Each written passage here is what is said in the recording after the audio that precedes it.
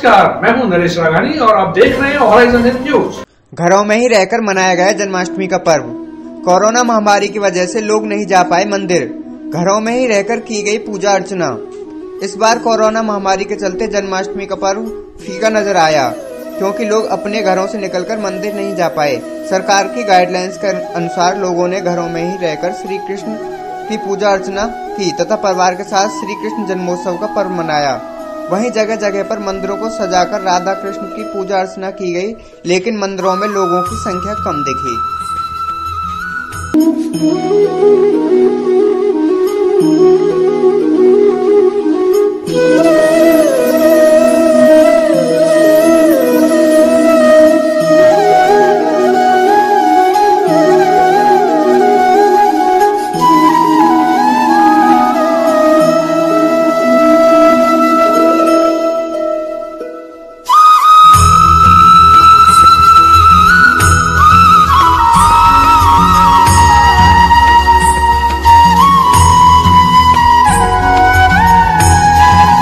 Corona काल चल रहा है, इस तरह से जन्माष्टमी घरों में मनाई जा रही है कि इस बार क्योंकि बाहर मंदिरों में कृष्ण जन्माष्टमी नहीं मनाई गई है, क्योंकि झांकियाँ वाकई लगती थी, उस तरह से कि कहीं झांकियाँ नहीं लगी। तो यहाँ पर घरों में आप देख रहे हो कि यहाँ पर कैमरामैन से कहूँगा पेन करके दिखाया कि ये देखिए किशन जी के छप्पन भोग की झांकी और कृष्ण जी को पूरा घर ऐसा सजाया हुआ है। यहाँ पर कृष्ण मक्खन मिश्री का भोग लगाया जाएगा और ये छप्पन भोग यहाँ पर सजाए गए हैं और इस तरह से कि कोरोना काल में के बीच में घर को डेकोरेशन करा गया है। घर को फुग्गों, गुब्बारों वगैरह से सजाया गया है। यहाँ पर आप देख रहे हो डेकोरेशन और बच्चों के लिए झूले वूले लगाए गए हैं कोरोना काल को देखते हुए यहाँ पर हम आए हैं। तो ये देखिए छोटे छोटे बच्चे कृष्ण जी बना रखे हैं और ये इन्जॉय कर रहे हैं। फैमिली ये कृष्ण जी बने हुए छोटे से बच्चे कितने अच्छे लग रहे हैं यहाँ पर कोरोना काल के बीच में। आइए, हम जानते हैं यहाँ पर किस तरह से आपने कृष्ण जन्माष्टमी मनाई गई है कोरोना काल के बीच में। हमने आज मेरी डॉटर की पहली जन्माष्टमी थी तो हमने बहुत अच्छे से घर में ही सेलिब्रेशन किया और पूरे घर को हमने अच्छे से सजाया, जैसे मंदिरों में सजाया जाता है। और हमने अपनी डॉटर को कृष्ण जी का रूप दिया आज और हमने बहुत अच्छे से सेलिब्रेट किया और अपने फ्रेंड्स को, सबको हमने इनविटेशन दिया कि हमारे घर आएँ और सभी सेलिब्रेट इस त्यौहार को बहुत अच्छे से करें। कोविड नाइन्टीन को लेकर के ये है कि पहले हम लोग सब बाहर जाते थे अलग अलग मंदिरों में घूमते थे, झांकियाँ देखते थे तरह तरह की, वो सब हमने बहुत मिस किया बट थोड़ा सा उसको लेकर के हमने घर में सेलिब्रेशन किया, ताकि ये त्यौहार कोई भी मिस ना करे। हाँ तो बताइए, किस तरह से कोरोना काल चल रहा है तो इस वजह से बाहर नहीं जा पाए तो हम इस, हमें कोरोना काल की कमी नहीं महसूस हुई है, क्योंकि आप देख सकते हैं कितनी अच्छी तरीके से घर को भी सजाया गया है। कृष्ण भगवान के रूप में उन्होंने अपनी डॉटर को भी तैयार किया था, और घर में भी प्रसाद वगैरह तैयार करके मतलब फ्रेंड्स रिलेटिव सबको बुलाया। हम भी इनके फैमिली फ्रेंड्स जैसे हम भी यहाँ आए हैं। जैसे कोरोना काल नहीं होता तो हम जैसे बाहर मंदिरों में जाकर सजावट देखते थे। बट अब जैसे घर में ही इन्होंने अच्छी तरीके से एकदम सजाया है फ्रेंड्स रिलेटिव सबको बुलाया तो हमें उस चीज़ की कमी नहीं महसूस हुई और काफ़ी अच्छी तरीके से हमने सेलिब्रेशन किया। और अभी वही बारह बजे का वेट कर रहे हैं कि उनका जन्म का टाइम हो जाए कृष्ण भगवान को और फिर अच्छी तरह से उनका जन्मदिन मनाया जाए। थैंक यू आज ये था कृष्ण भगवान का आज जन्म हुआ था। जन्म के बाद उन्हें आज के दिन कृष्ण जन्माष्टमी मनाई जाती है और जन्माष्टमी के बाद आज प्रसाद आरती होकर प्रसाद बांटा गया हॉरिजोन के लिए नरेश गौर अजमेर ये आज कृष्ण जन्मोत्सव है किस तरीके से मनाया जा रहा है क्या रहा है? भाई साधारण से मनाया जा रहा है जैसे साधारण मनाते हैं जैसे हमेशा उड़ीसा से है नहीं क्योंकि बहुत दूरियाँ रखनी पड़ती है। भगत लोग आते हैं दूर से दर्शन में निकल जाते हैं। बस यही हो रहा है अभी। हर बार की तरह जिस तरीके से हम पहले अपन कृष्ण जन्मोत्सव को मनाया करते थे इस बार कोरोना काल चल रहा है तो अपन किस तरीके से इस त्यौहार को मना रहे हैं? कोरोना काल के हिसाब से ही मनाया जा रहा है क्योंकि बहुत दूरियाँ रखी जा रही है और हर चीज़ को ध्यान में रखते हुए काम कर रहे हैं। नहीं अपन हर बार जिस तरीके से अपन कृष्ण जन्मोत्सव को मनाया करते थे तो वैसे इस बार कोरोना काल चल रहा है तो अपन किस तरीके से इस त्यौहार को मना रहे हैं? कोरोना काल के हिसाब से ही मना रहे हैं। पहले जो मनाते थे ना वो आनंद अलग था। उसका आनंद अलग था। और खूब उत्सव होता था खूब आनंद होता था। वो वाले तरीके से अपन हर तरीके से झांकियाँ सजाते थे पब्लिक आती थी। पब्लिक आती थी खूब आनंद लेते थे खूब नाचते गाते भगवान के खूब चरणों के अंदर बैठते थे। वो वाले आनंद अभी कोरोना काल की वजह से नहीं है सिर्फ़ दर्शन करते हैं। जय श्री राम। पंडित जी आपका नाम बताइए। भवानी शंकर। कौन सा मंदिर है किस जगह भी है? भाई सरोवर काली मंदिर। हाँ मैडम बताइए आप किस तरीके से अपन त्यौहार को सेलिब्रेट करते हैं? जैसे कि हम हमेशा तो बहुत ही हर्षोल्लास से मनाते हैं, साउंड भी लगवाते हैं, पूरा भजन भी करते हैं बारह बजे तक, लेकिन लॉकडाउन के चलते हुए ना तो साउंड लगवाया, एक छोटा सा झांकी करी है सोशल डिस्टेंसिंग को रखते हुए, दूर दूर बैठते हुए छोटे से भजन रखे हैं, थोड़ी सी झांकियाँ रखी है, और क्योंकि उत्सव मनाना ज़रूरी होता है भगवान का तो ये करना भी ज़रूरी होता है, इसलिए हमने ये छोटा सा प्रोग्राम रखा है, बहुत बड़ा नहीं रखा। मतलब हर बार की तरह अपन जिस तरीके से अपन कृष्ण जन्मोत्सव बनाते हैं इस बार अपन को लगता है कि शायद कृष्ण भगवान अपने घर में खुद चल करके आए हैं। हाँ। वो अपन को संदेश तो मतलब मैडम आपका क्या कहना है इस चीज़ को लेकर? के? इसको समझिए कि भैया कि हमेशा भगवान ही सोचते हो कि भक्त मेरे मंदिर में आते हैं अब मैं भक्तों के घर जाऊँ। तो अपने अपने घरों में सब मना रहे हैं त्यौहार छोटे से सूक्ष्म से कर ही रहे हैं प्रोग्राम अपने अपने घरों में कर रहे हैं। अ, क्योंकि कोरोना का डर सभी को है भैया।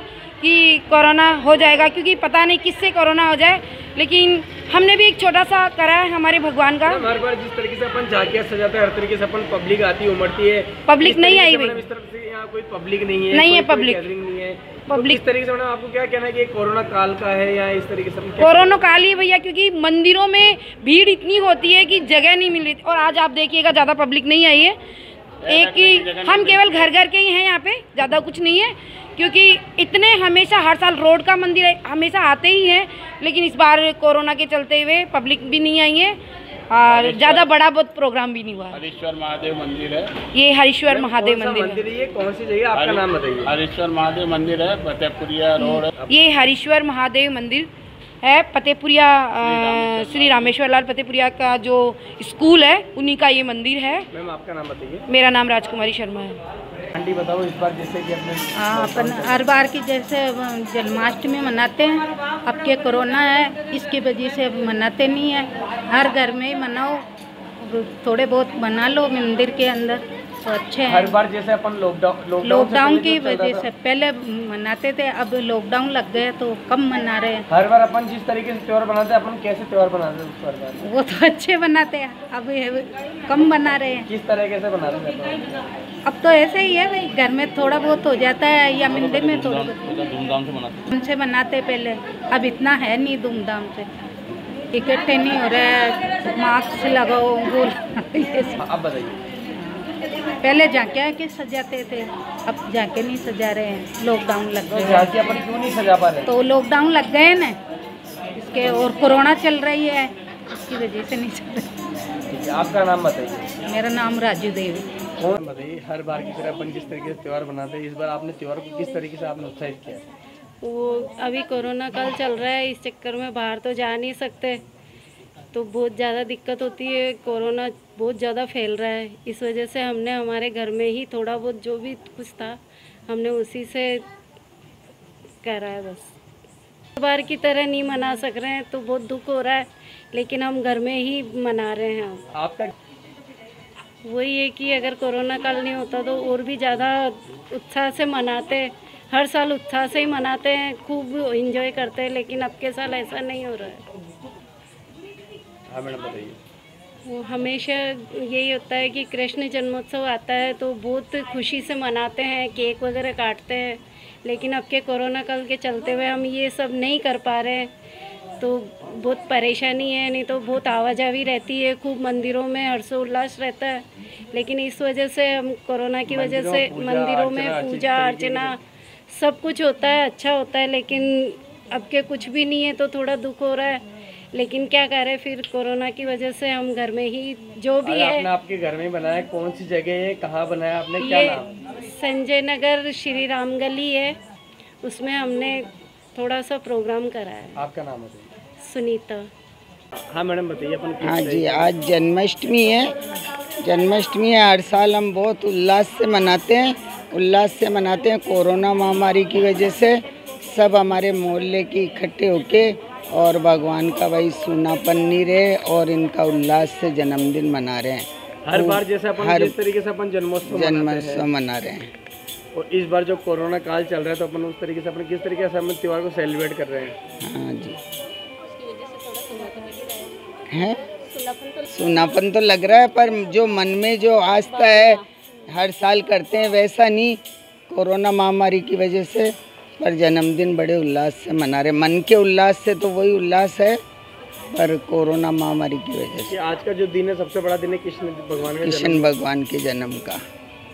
आपका नाम बताइए। जतन सांकला। कौन सी जगह है ये? श्याम नगर काली मंदिर के पीछे। ज्योति नगर सॉरी जी सर आज कहाँ पे आपका झांकी का आयोजन है? क्रिश्चियनगंज शिव मंदिर पर। झांकी का आयोजन रखा गया है। सोशल डिस्टेंस की पालना के द्वारा। रखा गया है। शोर शराबा कोई बिल्कुल नहीं है। सोशल डिस्टेंस के लिए बिल्कुल पालना कर रहे हैं। जो भी आ रहा है उसको बोल रहे हैं मास्क लगाएँ सोशल डिस्टेंस के अंदर दर्शन करें। आपका नाम? विनोद शंकर पारस है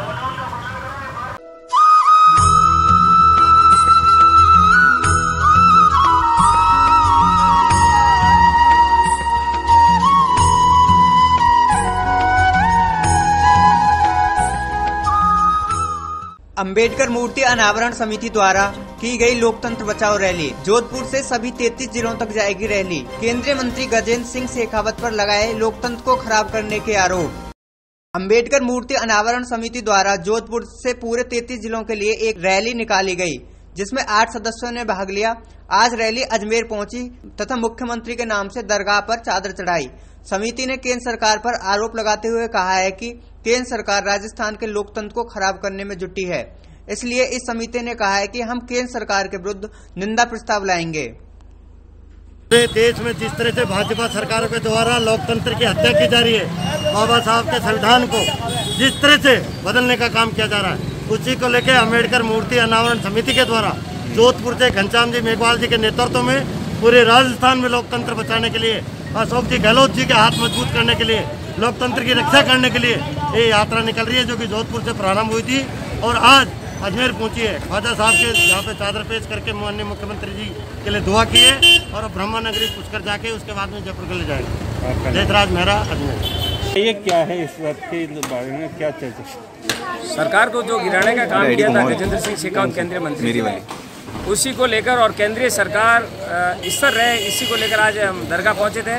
और दरगाह में चादर भेंट की मुख्यमंत्री जी के नाम से और हमारे संगठन द्वारा की गई है और पूरे राजस्थान के अंदर हम यात्रा निकाले हर जगह से हस्ताक्षर अभियान करवा रहे हस्ताक्षर माध्यम राष्ट्रपति को भेजेंगे और ये संपूर्ण रूप से लोकतंत्र को गिराने का जो गजेंद्र सिंह शेखावत ने काम किया उसके खिलाफ निंदा प्रस्ताव के लिए भाई, इन्हें ट्रक ये पूरे राजस्थान में हमारी यात्रा हाँ। ये कहाँ कहाँ जाएगी? कहाँ कहाँ यात्रा ये पूरे राजस्थान में जाएगी तैतीस ही जिलों में जाएगी। ये पश्चिमी राजस्थान से होते हुए आज अजमेर संभाग का दौरा करेगा। अभी यहाँ से पुष्कर जाएँगे हम और पुष्कर में भी यज्ञ करवाएँगे और पूजा अर्चना कराएँगे मुख्यमंत्री जी के नाम से।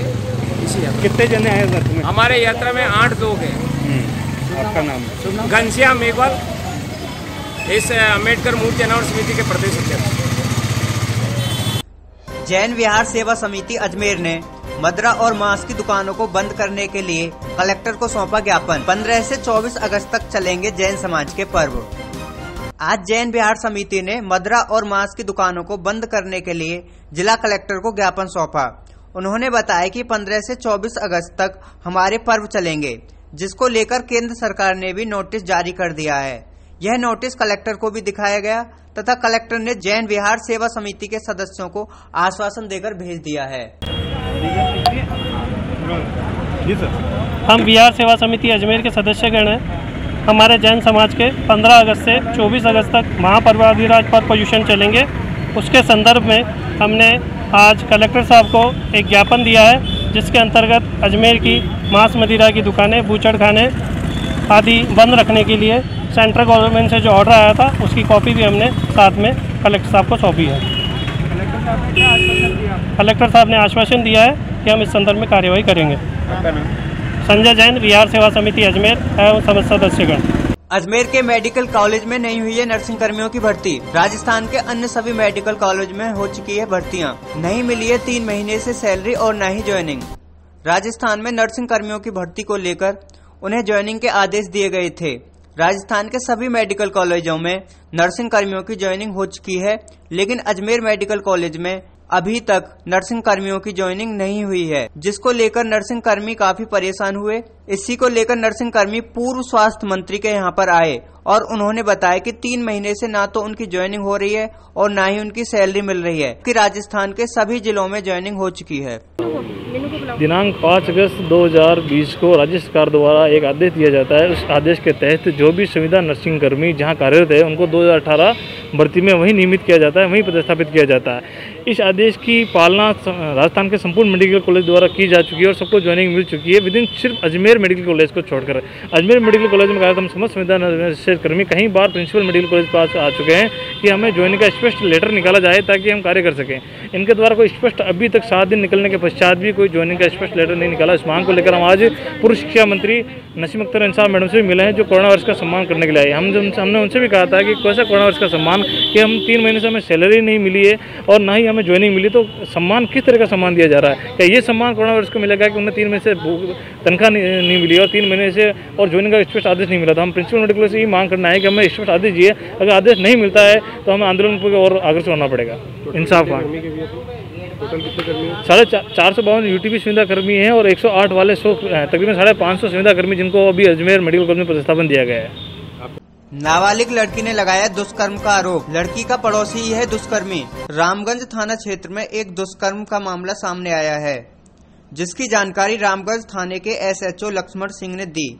उन्होंने बताया कि रामगंज थाना क्षेत्र की एक नाबालिग लड़की ने रिपोर्ट दर्ज कराई है कि उसके साथ 2 जनवरी 2019 को पड़ोस के ही रहने वाले एक युवक ने दुष्कर्म किया था।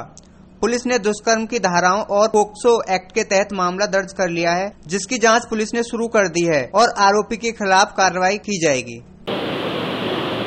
कल दिनांक 12 अगस्त 2020 को पहाड़गंज निवासी, एक नाबालिग लड़की ने आकर थाना जब रिपोर्ट दी कि 2 जनवरी 2019 को मेरे साथ में न्यू ईयर की पार्टी के दौरान पड़ोस के ही रहने वाला व्यक्ति ने छत में अपने मकान की छत पर ले जाकर मेरे साथ दुष्कर्म किया था।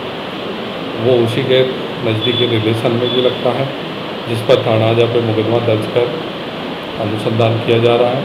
मुकदमा तीन सौ दुष्कर्म की धाराओं में और पोस्को एक्ट में दर्ज किया गया जिसका अनुसंधान जारी है। सर आपका नाम?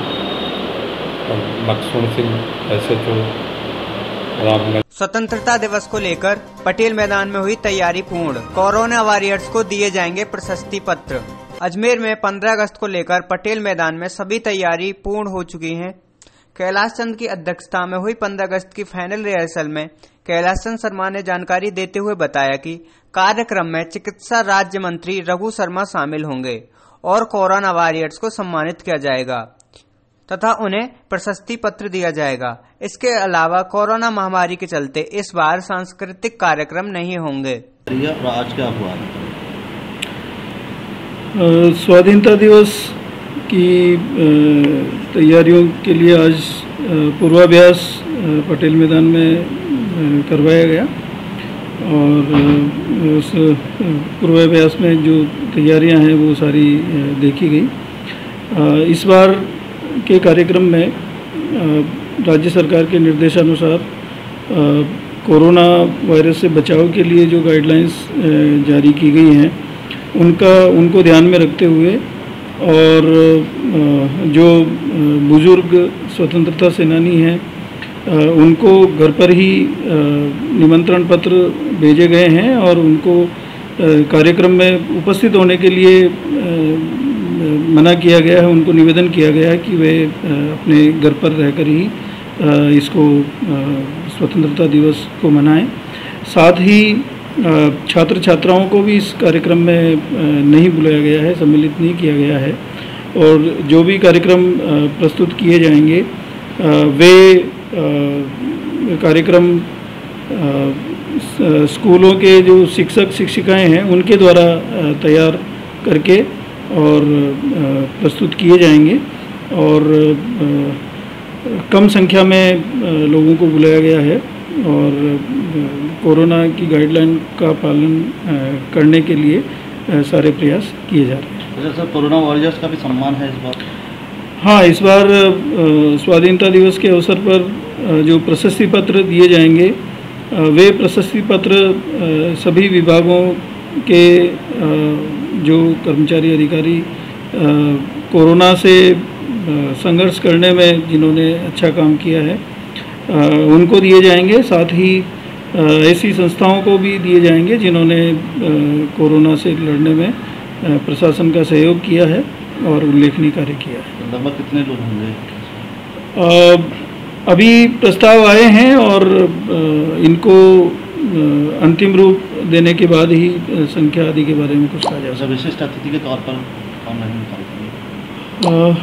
अभी तक तो इंटीमेशन नहीं आया है लेकिन पूरी संभावना है कि माननीय चिकित्सा मंत्री महोदय मुख्य अतिथि के रूप में राज्य सरकार की तरफ़ से बता देंगे ऐसी पूरी संभावना है। देखिए, पंद्रह अगस्त के लिए जो हर साल हम जैसा करते हैं, उसी प्रकार से इस बार भी हमने अपना सारा जो अपना डिप्लॉयमेंट है, वो डिप्लॉयमेंट कर दिया है। शहर में बहुत जगहों पर नाकाबंदी पॉइंट डिसाइड किए हैं, जो कि शहर और ग्रामीण थाना क्षेत्रों में लगभग हर थाने में एक से अधिक नाकाबंदी पॉइंट लगाए जाएँगे। इसके अलावा जो हमारा पटेल स्टेडियम है, वो हमारे कब्जे में हमारे द्वारा लिया जा चुका है। और उसमें अब किसी भी तरह के मूवमेंट को हम रिस्ट्रिक्ट कर रहे हैं। इसके अलावा उसको सिक्योरिटी की दृष्टि से पूरा इंस्पेक्शन उसका किया जा चुका है ताकि वो पूरा सिक्योर रहे। सर पंद्रह अगस्त को सर जवान कितने तैनात रहेंगे देखिए वैसे तो सभी थाना अलर्ट मोड पर रहता है तो आप मान सकते हैं कि 2000 से अधिक लोग हैं जो कि फ़ील्ड में 15 अगस्त के लिए अभी से ड्यूटी पर लगे हुए। अखिल भारतीय प्रगतिशील महिला एसोसिएशन द्वारा कर्ज माफ़ी को लेकर दिया गया जिला कलेक्टर को ज्ञापन। निजी लोन कंपनियाँ डाल रही हैं ऋण वसूली को लेकर दबाव। महिलाओं ने की एक लाख तक का ब्याज मुक्त ऋण देने की मांग। कोरोना महामारी की वजह से बेरोजगार हुई महिलाओं ने सरकार से गुहार लगाई है कि उनको उनका ऋण 2021 तक माफ़ किया जाए, तथा नए काम के लिए उन्हें एक लाख तक का ब्याज मुक्त ऋण दिया जाए और उनका सामान सरकार द्वारा खरीदा जाए। अखिल भारतीय प्रगतिशील महिला एसोसिएशन द्वारा आरोप लगाया गया है कि निजी ऋण कंपनियों के कर्मचारी अभद्र भाषा का प्रयोग कर रहे हैं तथा ऋण चुकाने के लिए दबाव डाल रहे हैं। महिलाओं का कहना है कि सरकार अभी 2021 तक ऋण की मांग न करे। आज ज्ञापन देना है क्या?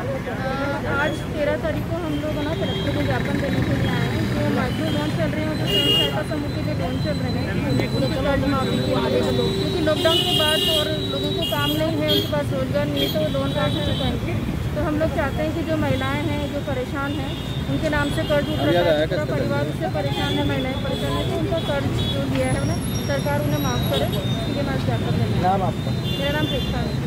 मैं है क्या हम लोग आए जो प्राइवेट कंपनियों का लोन चल रहा है ना माइक्रो कंपनी का और सम- समूह सहायता समूह का। जो महिलाओं ने लोन लिया वो लोन महिलाएँ चुका नहीं पा रही। लॉकडाउन की वजह से बेरोजगारी की वजह से। महिलाएँ जो काम कर रही थी उनका काम छूट गया। घरों में काम काजी महिलाएँ झाड़ू पोछा जो भी काम करती थी उनका काम भी छूट गया और लोन नहीं चुका पा रही और ये ब्याज खोर लोग ब्याज के ऊपर ब्याज चढ़ाते जा रहे हैं। उनके घर में वसूलीकरण के लिए महिलाओं को भेजते हैं सामान उठा के ले आते हैं। और महिलाएँ अति इतनी मजबूर है कि यहाँ तक बोला कि तुम कुछ भी करो बोला नहीं अपना कुछ भी शरीर बेचो लेकिन हमारा किस चुकाओ तो इसके लिए हम सरकार से मांग करके कर रहे हैं कि सरकार उनको 2021 तक रोके जो ताकि उनका ब्याज ना ले। एक तो ब्याज मुक्त है ये जो महाजनीकरण चल रहा है ना प्राइवेट महाजनीकरण। इसको रोके सरकार। और दूसरा है तो एक लाख रुपया का लोन कर्ज दे महिला, महिलाओं को सरकार। और वो घरेलू काम काज ये पापड़ है, मंगोड़ी ये साबुन है सरफ है जो भी उद्योगीकरण है घर का। अपना जो भी वो महिलाएँ काम करें, उसकी मार्केटिंग सरकार करे। वो खरीदे उस सामान क्योंकि महिलाएँ जहाँ कहीं बेचने जाती है, सामान बिकता नहीं है उनका। तो वो वैसे का वैसे ही उनके ऊपर कर्ज चढ़ा रहता है। तो हम कहते हैं कि सरकार इसकी गारंटी करे सरकार इसको खरीदे चाहे कहीं पे भी बेचे।